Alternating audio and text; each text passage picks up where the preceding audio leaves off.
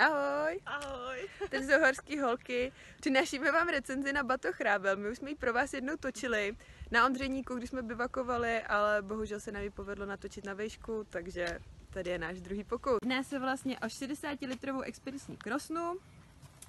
Co je super, tak je určitě nastavitelný zádový systém, který je navíc odvětraný, takže když jdete nějakou další turu, máte ten baťoch naložený, jdete do kopce, tak prostě nemáte ty záda úplně totálně spocený.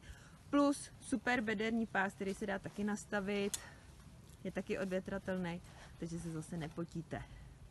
Co je super vychytávka u toho baťušku, je vlastně odnímatelný 10 litrový baťoch, malý, který můžete na ten batoh připnout, Můžete do něj dát další věci a případně, když jdete třeba nějaký přechod a jeden den děláte jenom nějaký kratší výlet po okolí, tak si vezmete jenom tenhle ten malý baťužek.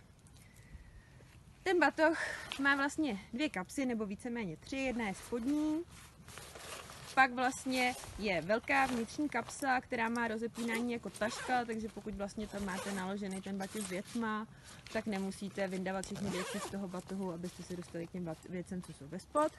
A pak má vlastně ještě vrchní odepínatelnou kapsu, která zase tam může být, nemusí a když ji vlastně odepnete, tak se dá vzít jako ledvinka, takže zase ji můžete nosit po okolí. Je to super.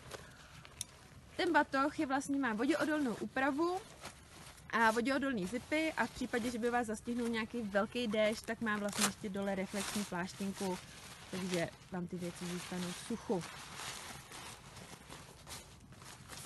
Dále má vlastně ještě batoh spoustu uh, uchytek, na který můžete uchytit třeba trekové hole, nebo my tam klasicky máme uchycený vždycky plecháček, termosku a pak vlastně ještě má dvě kapsy, které jsou na tom bederním pásu a tam můžete vlastně nosit takové ty nezbytnosti, které potřebujete mít při ruce, takže třeba mobil, peněženku, powerbanku.